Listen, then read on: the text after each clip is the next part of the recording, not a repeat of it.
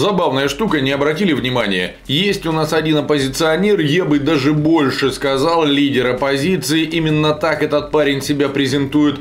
Так вот, как только в стране происходит что-то по-настоящему важное, ну, например, экономический кризис или откровенное кидалово, связанное с грядущей коронацией верховного правителя – этот самый оппозиционер начинает переключать внимание протестников на какую-нибудь никому не нужную фигню. Как, например, в этот раз, когда на фоне обвала российской экономики человек заговорил о вороватой чите Симоньян. Ого, скажет вам любой телевизионный продюсер. Какой щедрый ценник. При этом напомню, что оборудование и помещения взятого государства, а значит расходы на производство не такие большие. Но я же не просто так назвал семейство Киасаян-Симонян паразитами нового поколения. Нет, я не против. О ворах вроде этих ребятишек рассказывать нужно, ну потому что совсем уже обнаглели, тащат все, что не приколочено, снимая на деньги налогоплательщиков всякое говно, осваивая при этом миллиарды. Но, блин, есть ведь еще такое понятие, как время и место. Согласитесь, по меньшей мере странно выпускать в эфир Расследование о недожурналистке и недорежиссере 10 марта, в день, когда вся страна только очухалась от праздников и узнала, что ее будущее летит в тартар, рубль упал по самое не могу. Рынки рухнули, акции российских компаний обвалились, да и фиг бы с ним, а вот Симоньян с Киасаяном – на следующий день, пока народ все еще пребывает в шоке, и жулики предлагают короновать его величество, а выборы в Госдуму похерить, оппозиционер номер один с упорством идиота продолжает, а вот Симоньян с Киасаяном. Ну реально, подобное для меня выглядит странным. Дядь Леш, а не поговорить ли нам до кучи о клопах в адлерских гостиницах? Ну раз больше не о чем. Отличное заявление с учетом того, что Алексея Навального не пустили на выборы президента, а в прошлом году меня и других независимых кандидатов не зарегистрировали даже на выборах в Мосгордуму. Я, кстати, несколько раз вот этот вот ролик Соболь пересмотрел. Слушайте, он такой беззубый. Он такой ни о чем. Терешкова очень некрасиво поступила. Владимир Путин не допустит конкуренции на выборах 2024. Ну а теперь перейдем к делу Голунова. Блин. Да с такой оппозицией нам не то, что до конца 1936 года ничего не светит.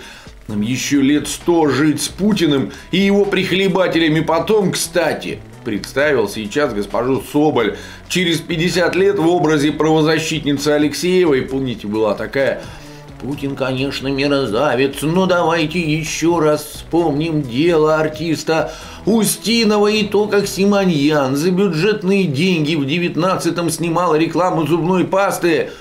Ой, блин, а кто вообще сказал, что эти ребята оппозиция? Да они же мажоры, самые обычные, такие же, как Лиза Пескова или Ксения Собчак, та же Симоньян – только мажоры новой формации, которые назначили сами себя будущей российской элитой, им удобно быть типа несогласными тогда, когда это нужно.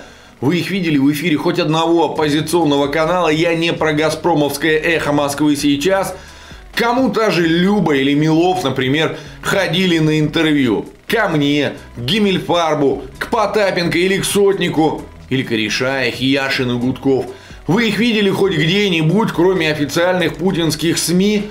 А может, ребята, как Владимир Владимирович, тоже на дебатах не появляются, потому что для них это мелко? А по-моему, все очевидно. Там же неудобные вопросы могут начать задавать, и как на эти вопросы отвечать без согласования с боссами. Это спецпроект реальной журналистики, программа «Кремлевская обсерватория».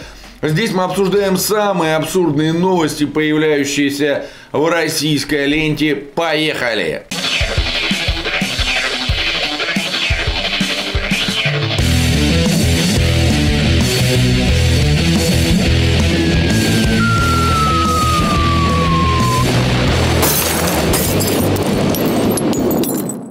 Он поднял, можно сказать, страну с колен.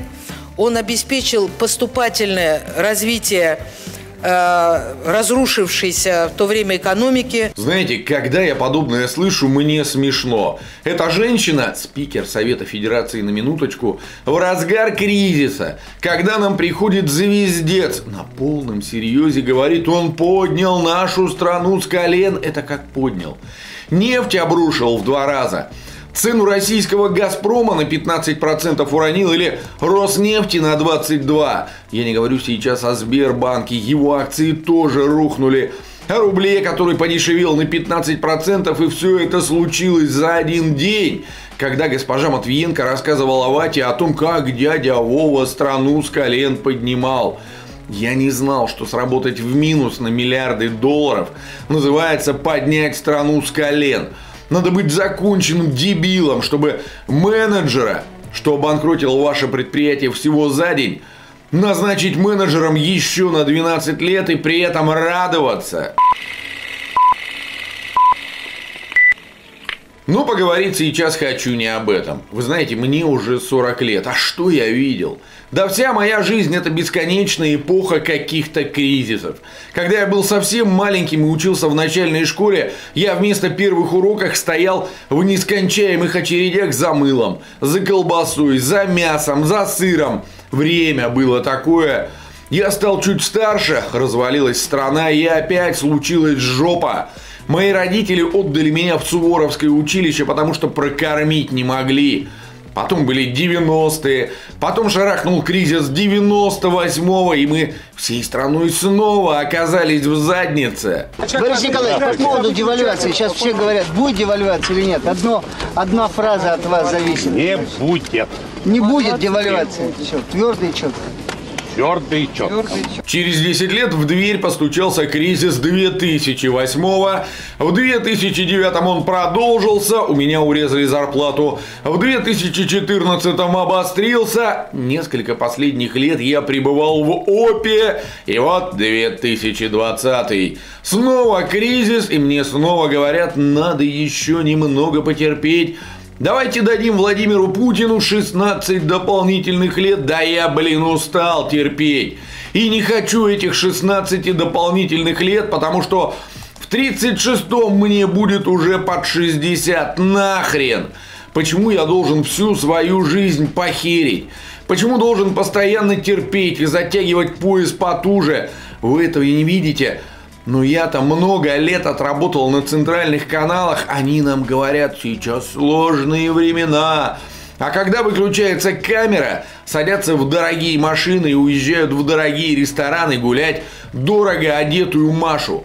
Жрут там лобстеров, когда ты в последний раз ел лобстера, а он вчера. И завтра будет есть, и послезавтра, и следующие 16 лет, а тебе надо немного потерпеть, в 36 году, повторюсь, тебе и мне уже будет под 60. Все, ты свою жизнь просрал. Ты видел только счета за ЖКХ и ценники в магазинах. Вместо шубы жене купил дешевый китайский пуховик. А статую свободы ты видел? А статую Христа Спасителя? А на Голгофу поднимался или правильнее будет сказать спускался? Что ты видел в своей жизни? А у них она прошла красиво с шампанским вдова Клико, которая, уверен, ты даже не пробовал. Ты вспомнишь мои слова, правда, на тот момент тебе будет уже 75, и ты будешь подыхать на помойке. Потому что твой национальный лидер подписал указ о выселении тебя из единственного жилья за неуплату коммунальных услуг. Ты будешь подыхать на этой помойке, и вот тогда ты меня вспомнишь. Только поздно будет. Надо просто задуматься о собственном здоровье. Можно стать поменьше питаться, например.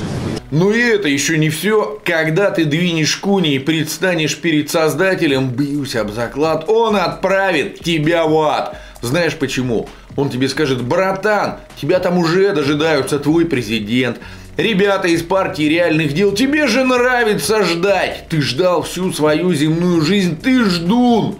Вот и жди теперь с ними, у тебя в запасе целая вечность. Получай удовольствие.